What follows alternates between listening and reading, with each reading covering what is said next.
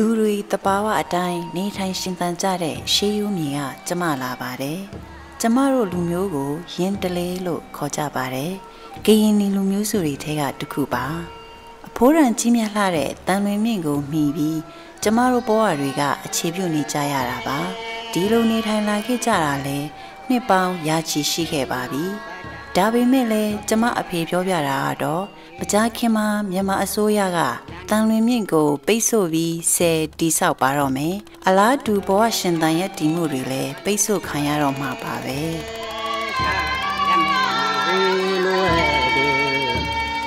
妈。